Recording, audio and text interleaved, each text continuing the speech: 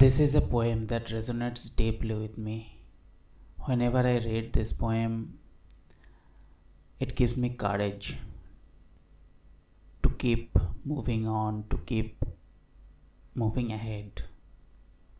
Here's Do Not Go Gentle into That Good Night by Dylan Thomas. Do not go gentle into that good night.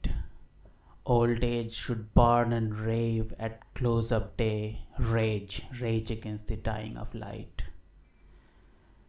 The wise men at their end know dark is right, because their words had sparked no lightning, they do not go gentle into that good night.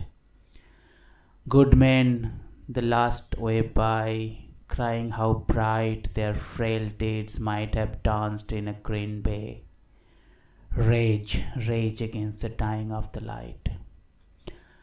Wild men who caught and sang in the sun in flight and learn too late the grave date on its way.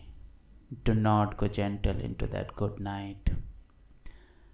Grave men near death who see with blinding sight, blind eyes could blaze like meteors and be gay.